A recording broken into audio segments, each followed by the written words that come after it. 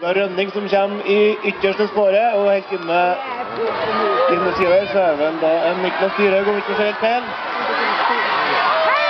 Oj, oj, oj vad tufft det var. Petter Northug er faktisk overalt der. Men han ble slått av Rønning. Og ser fornøyd ut med det.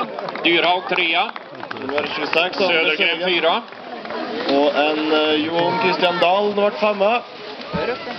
Rennemo är sexa. Og på sjuendeplass så fikk vi da inn en Morten Ellefsen fra Henning skilag. Och då skiljer det 15 sekunder mellan segrande Eldar Rönning och eh, sjuan Mårten Ellefsen. Ja, det var det tuffaste sen jag kom hit till flyktingloppet 1995. Og der går en Gerhard inn i mål med en, en stav midt i handa. Samma placering som i fjol, en åttonde plats blir det. Og en Andreas Byran Steen inn på en uh, niendeplass. Sprinteren fra Team Trøndelag. Og nå i kranskullene Linde Ottosson fått et godt tak rundt enda Rønning og står og den kransen. Tionde man på väg in. Startnummer 70 som er på tur mot mål. Og det er da en Daniel Rikardsson fra Hudiksvall som gikk i mål til en tiendeplass.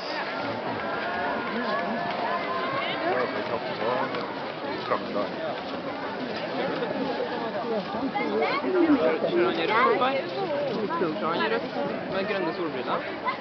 Det. Ser du? Jaha, då har vi Anders Högberg, segrare här i H21 för två år sedan, går in som segrare i herrar 35. Och han fyller 35 år om någon dag och då kan vi väl passa på att gratulera till både segern och till på födelsedagen då. Till Anders Högberg. Startnummer 60 in i mål och det är eh, Wilhelm Jurulf Wittbro ifrån Renneby. 68. Jonas Kolstad har vi fått in som åtta. Nej, som elva. Det var Kolstad. Det var inte alls det jag sa först. Det var 68 istället för